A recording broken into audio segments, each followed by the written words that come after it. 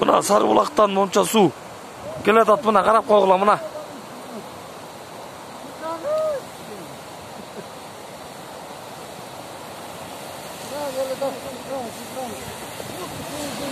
қалапчы ами опасный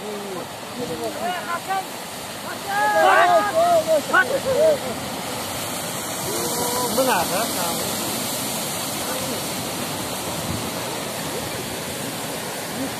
Muz.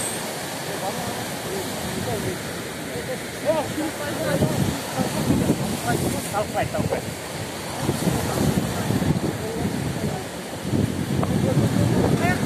예, 문은 내, 잘 들어오기가 몇 년간 아니야?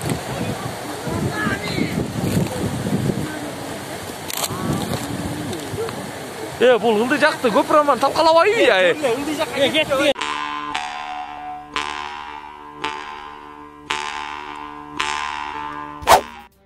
Сегизинчи январь күнү жалал абад шаарындагы компьютердик клубда болгон жаш балдардын массалык мушташы боюнча иликтөө жүрүп жатат. Бул тууралуу бүгүн он экинчи январда жалал абад облустук ички иштер башкармалыгынын басма сөз кызматы кабарлады. Маалыматка караганда сузак районунун отуз жаштагы тургуну жалал абад шаардык ички иштер башкармалыгына арыз менен кайрылган. Ал сегизинчи январь күнү шаардагы геймзон компьютердик клубунда бет тааныш азиат түспөлүндөгү он сегиз жыйырма жаштар чамасындагы он он беш бала өз ара жаңжалдашып клубдун эшигинин терезесин сындырып ага материалдык чыгым келтиргенин билдирип мыйзам чегинде чара көрүп берүүнү суранган ошол эле күнү аталган компьютердик клубда сол бутунан жаракат алган жалал абад шаарынын жыйырма бир жаштагы тургуну ооруканага кайрылып медициналык жардам алып кеткен. Жогорудагы окуя боюнча материал чогултулуп жалал абад шаардык ички иштер башкармалыгына жазык кодексинин эки жүз алтымыш алтынчы беренесинин негизинде сотко чейинки өндүрүш иш ачылды. Учурда тиешелүү экспертизалар дайындалып тергөө амалдары жүргүзүлүп жатат. Булак турмуш. Мадумаров билдирүү таратып бшкны күнөөлөдү онунчу январда өткөн шайлоодо борбордук шайлоо комиссиясы мыйзам бузууга бөгөт койгон жок. Президентке талапкерлигин койгон адахан мадумаров он экинчи январда ушундай билдирүү таратты. Аны азаттыкка талапкердин жардамчысы жиберди мадумаров бшкнын дарегине айтылган сынды алты жүйө менен негиздеген ал электрондук урналардагы бюллетендердин автоматташтырылган санагын улуттук коопсуздук боюнча мамлекеттик комитеттин өкүлдөрү көзөмөлдөгөнүн белгилеп мунун мыйзамсыз экенин айтты. Андан тышкары шайлоодо жеңип чыккан садыр жапаров мамлекет башчынын милдетин аткаргандыктан талапкер болуп катталбашы керек экенин билдирип буга конституция жол бербей турганын эске салды. Ошондой эле садыр жапаровдун үгүт иштеринде каржылык иштеринде мыйзамсыздык болгонун айтып буга бшк көз жумганын кошумчалаган. Бшкнын төрайымынын орун басары абдыжапар бекматов мадумаровдун айткандары чындыкка дал келбей турганын өзүнө кат жүзүндө жооп берилгенин билдирди. Укмк кибер коопсуздукка жооптуу мамлекеттик орган шайлоодо алар өз иштерин аткарышты. Ал эми добуш саноого атайын кызматтын бир да өкүлү аралашкан жок дейт. Азаттык мадумаровдун кайрылуусу боюнча жапаровдун шайлоо штабынын юристи александр мощинге кайрылды. Ал кайрылуу менен таанышып чыккандан кийин комментарий берилерин айтты онунчу январда өткөн президенттик шайлоодо он жети талапкер ат салышты баштапкы жыйынтыкка ылайык садыр жапаров жетимиш тогуз пайыз көбүрөөк добуш алды. Адахан мадумаров алты пайыздан ашуун добуш менен экинчи орунду ээледи шайлоого байланыштуу премьер министрлик ыйгарым укуктарын токтоткон садыр жапаров аталган кызматка кайтып келбейт бул тууралуу аки пресс агенттигине өкмөттүн басма сөз кызматынын башчысы бакыт рысалиев билдирди инаугурациядан кийин ал расмий түрдө премьер министрлик ыйгарым укуктарынан баш тартат азырынча премьер министрдин милдетин биринчи вице премьер министр артем новиков аткарып турат деди ал. Премьер министр садыр жапаров президенттик шайлоого катышуу үчүн эки миң жыйырманчы жылы он төртүнчү ноябрда убактылуу ыйгарым укуктарын токтоткон онунчу январда ал шайлоочулардын жетимиш тогуз пайыз добушуна ээ болуп жеңишке жетишти укмкнын коррупцияга каршы күрөшүү кызматы кечээ он биринчи январда. Социалдык фонддун талас райондук башкармалыгынын жетекчисин кармады. Бул тууралуу укмкнын басма сөз кызматы билдирди. Социалдык фонддун талас райондук башкармалыгынын кызматкерлери иш сапарлардагы чыгымдар үчүн бөлүнгөн бюджеттик акчаларга мыйзамсыз ээ болушкан деген факт боюнча кылмыштардын жана жоруктардын бирдиктүү реестрине катталган. Сотко чейинки өндүрүш ишин токтотуу үчүн ал жетекчи укмкнын кызматкерине жетимиш миң сом сунуштаган жетекчи талас облустук ички иштер башкармалыгынын убактылуу кармоочу жайына киргизилди. Тергөө уланууда.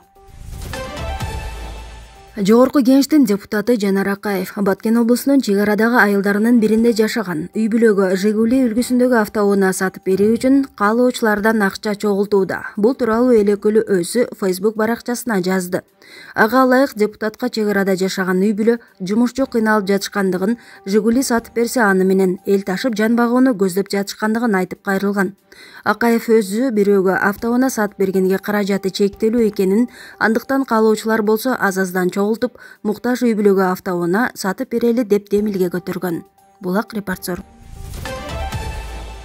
президенттик шайлоодо талапкер абдил сегизбаевдин штабында иштеген медиа менеджер нурзада токтоголова укмкга суракка чакырылды. Бул тууралуу ал өзүнүн социалдык тармактагы баракчасына жазды. Мени суракка чакырышты. Жакшы мындан эмне чыгаарын көрөбүз деп жазып чакыруу кагазынан сүрөтүн жүктөдү токтоголова.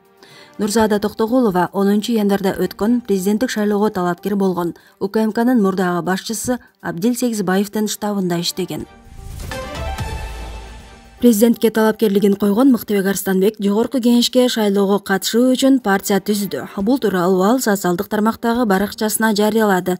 Анын айтымында президенттик шайлоого катышып жатып өзү үчүн бир нече маанилүү тыянак чыгарган биз өзүбүз үчүн көптөгөн ачылыштарды жасадык. Эмне үчүн шайлоочулардын аз катышуусу болду.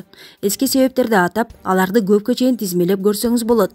Коом эми ишенбейт эл бийликтен тажады. Бирок биз дагы бир нерсени көрдүк. Эгерде шайлоого бир миллиондой адам келсе демек калган үч миллион жарандык активдүүлүк жетишсиз деңгээлде өнүккөн. Бул үчүн эмне кылсак болот? Албетте коомдун саясий аң сезимин өнүктүрүү үчүн биз маалымат таратабыз экинчиден шайлоого толук маалыматы бар мусулмандар келишти бирок эмне үчүн калгандары анын ичинде сабаттуу илимпоздор бизге добуш беришкен жок демек биз исламдын толук күчүн ачып бере алган жокпуз тийиштүү иштерди мыйзамдуу расмий деңгээлде кантип жүргүзүүнү билбейбиз биз муну чогуу үйрөнүшүбүз керек. Бул биздин коом алдындагы милдетибиз деди ал. Мурдагы премьер министр кубатбек боронов экономикалык кылмыштарга каршы күрөшүү боюнча мамлекеттик кызматынан сурактан чыкты. Ал коронавируска каршы күрөшүү иштери боюнча күбө катары чакырылганын айтты. Калган маалыматтарды айта албайм сотко чейинки өндүрүш иши экен деди ал. Булак баракелде. Жүргүнчүлөрдү ташуучулардын ассоциациясынын башчысы алтынбек досбаев бишкек шаарындагы коомдук унаанын анын ичинде кичи автобустардагы жол кирени кымбаттатууну талап кылды ал бүгүн он экинчи январда мэриядагы жолугушууда коомдук унаадагы жол кире эки миң он экинчи жылдан бери көтөрүлбөй жатканын айтты. Буга чейин бул маселе монополияга каршы күрөшүү комитети жана бишкек шаардык кеңештин депутаттарынын макулдугу менен чечилчү бирок эки миң он жетинчи жылы бул функциялар алынып салган досбаев жол кире жергиликтүү өзүн өзү башкаруу органдары тарабынан коюлаарын билдирди ага вице мэр азизбек алымкулов жооп берди силер элди ойлоону сунуштап жатасыңар. Макул кырк жүргүнчү ташуучу компания тарифтерди көтөрүп эл кыйналсын деп жатасыңарбы? Бизде көп балалуу үй бүлөлөрдүн кайрылуулары бар деди ал. Алымкулов ассоциация тарифтерди оору убакта жогорулатууну талап кылып жатканын айтты. Эл карантинде отуруп окуучулар эми гана мектепке барганы жатышат деди ал. Башка жүргүнчү ташуучу компаниянын өкүлү айдоочулар да оор абалда экенин пандемиядан улам көпчүлүгү жумуштан айрылганын айтты дагы бир башка жүргүнчү ташуучу компаниянын өкүлү жашоо кымбаттап жатканын белгиледи. Сегиз жыл мурун солярканын баасы жыйырма эки сом болчу бүгүн отуз алты сом. Ар күнү он жыйырма тыйынга кымбаттап жатат унаа тетиктери баары кымбаттап жатат деди ал. Булак баракелде. Баткен облусунда өзбекстанга мыйзамсыз газ сатылып жатат деген маалымат чындыкка туура келбейт. Бул тууралуу укмкдан билдиришти эске салсак социалдык тармактарга кадамжай районунун жаранынан өзбекстанга жаратылыш газы мыйзамсыз сатылып жатат деген маанидеги видео кайрылуу тараган мындан улам укмк маалыматты жеринен текшерип көрүү чечимин кабыл алган түндүк сох газ сактоочу жер алдындагы кампасы өзбекстандын узбек нефтегаз ишканасынын балансында. Эки миң онунчу жылга чейин коңшулар бул жерде бухара облусунан келген газды сактоо жана бөлүштүрүү үчүн пайдаланышкан учурда ал жерде газ жок деп айтылат билдирүүдө ушул эле маселе өткөн жылдын декабрь айында козголуп ага өкмөт өз түшүндүрмөсүн берген. Бирок анда газ эмес нефть тууралуу сөз болгон. Өкмөттөн билдиришкендей советтер союзу мезгилинде кадамжай районунун ак турпак айыл аймагына жалпы аянты бир миң төрт жүз гектарга жеткен жерге өзбек сср тарабынан газ нефть өндүрүүчү скважиналар курулган. Булак спутник. Бүгүн он экинчи январда баткен зардалы унаа жолунун өзбекстандын сох анклавынын аймагынан өткөн тилкесинде жол каттамы токтоп калды. Жергиликтүү тургундардын айтымында жолду суу каптап муз тоңуп унаа каттамы токтоп калган. Унаалар гана эмес жөө адамдардын өтүүсүнө тоскоолдук жаралган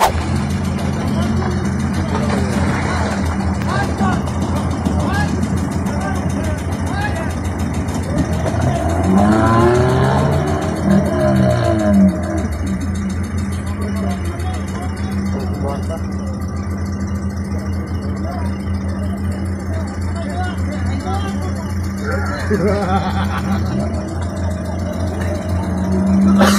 ha!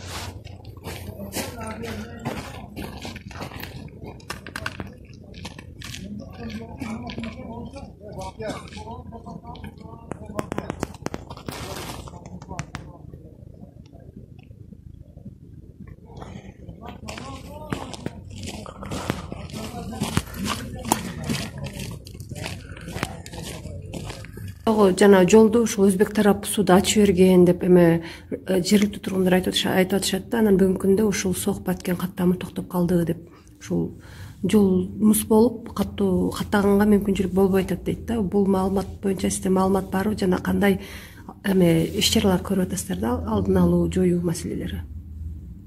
Бул жол боюнча эртең менен мага немен кыш туут айыл өкмөтүнүн башчысы телефон аркылуу байланыштык айтты. Мен а, сох районунун акими менен сүйлөшүп ошол жерде азыр бүгүнкү күндө айыл өкмөт башчысы менен а, сох районунун зам акими биргеликте ошол ошол суу аккан жерди суу тоңгон жерди көрүп атат жол боюнчачы биргеликте иштерди жүргүзөт ал жерде тактап көрүшүбүз керек эң негизгиси тактап көрүп туруп чындыгында эл кое бердиби же өзү ашып кеттиби азыр азыркы ушу- ушул моментте азыр райондук жол башкарманын башчысы менен айыл өкмөт башчысы и соктун зам акими менен биргеликте көрүшүп и биргеликте ошол э, жолду ачып ушул бүгүндөн кийин ушундай момент болбошунун боюнча иш жүргүзөбүз. Айтсаңыз буга чейин ушундай э, учурлар катталган беле же бул биринчи жолу катталып атабы тургундар айтып атат э, дайыма эле ушундай мамиле кылышат деген сөздөрдү айтып атышат. Эми мен менин азыр э, азыркы учурдагы неме өткөндө бир үч төрт күн мурда неме болгон бул боюнча мага кабар келген бирок э, райондук жол башкармалыгы барып тазалап келген. Азыркы учурда эми элдин айтымы боюнча мага да ушул айыл өкмөт башчысы айтат атайлап кылгандай болуп атат депчи. Бирок мен ойлойм муну тактап туруп көрөлүчү атайлап кылбаса керек менимче эми кыштын мына көрүп атасыздар күн өтө суук болуп атат. Анан конечно арыкта суу агып атат ак- аккан суу может тоңуп калган болсо ачып салышкандыр. Көрүшүбүз керек. Бирок бул боюнча эми карап көрөбүз.